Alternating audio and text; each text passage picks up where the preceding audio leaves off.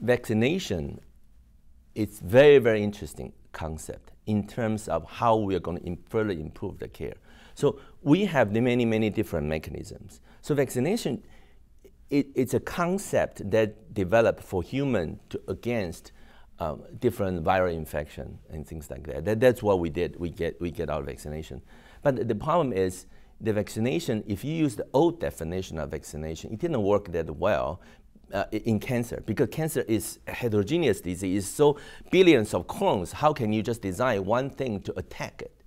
And virus is invariant. Virus just have only a few proteins. They don't change. That's why it's easy to develop vaccination.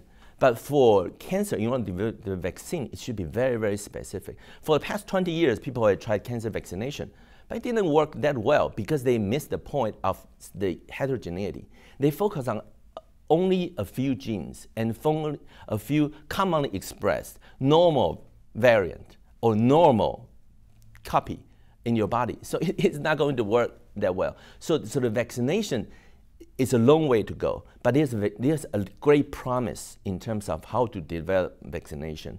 In my opinion, the, the, there are many, many ways of design personalized vaccine. And I think the vaccination should not be just one off the shelf for everybody, should be designed for individual patients and to figure out what kind of mutation they have in their tumor and to figure out whether, how, whether they express or not. And then you can think about designing specific, either peptide or RNA or DNA to represent these specific mutation and express into our immune system, either through you know, of in vitro culture on dendritic cells or just using a liposomal conjugated you know, different uh, uh, RNA or peptide and injected. So I think vaccination is very, very important.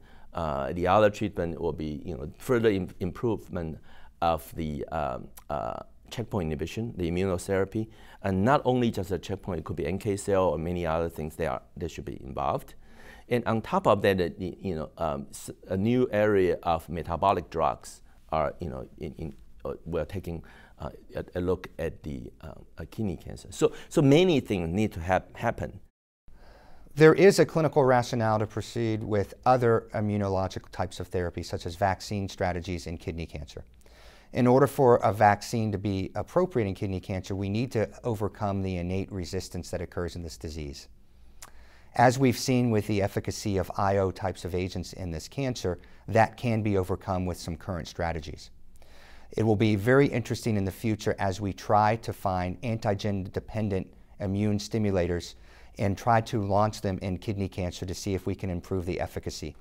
So I would imagine some type of an autologous tumor vaccine combined with some type of an immunostimulator such as an IO agent to be a path forward in a vaccine approach for this cancer. Vaccine-based strategies have been uh, investigated for the treatment of metastatic kidney cancer for some time now. And we have recently had updates for two pivotal trials in this space. Uh, the IMA 901 multipeptide vaccine has been tested on a large phase three randomized trial in combination with sunitinib versus sunitinib alone. This is called the IMPRINT trial that was recently published by Brian Rini and his colleagues in Lancet Oncology. This was a negative phase three study in the frontline space uh, as this new combination of vaccine plus TKI failed to show an improvement in overall survival over tyrosine kinase inhibitor therapy with sunitinib alone. There's a second important trial uh, that has been, has been ongoing for some time, the so-called ADAPT trial.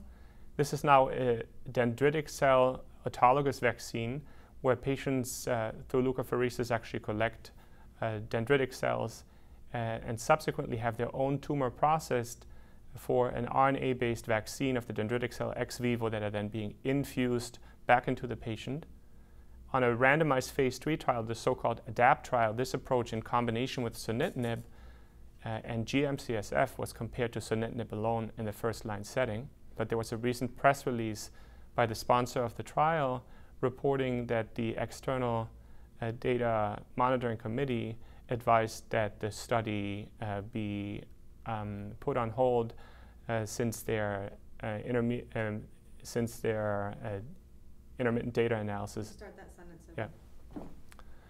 We recently had a press release from the study sponsor uh, telling us that uh, in an interim analysis, the external data monitoring committee has recommended this study no further be pursued due to the fact that uh, their interim analysis suggests that the primary endpoint of the study cannot be met, which would have been overall survival benefit for the vaccine-based approach compared to TKI alone.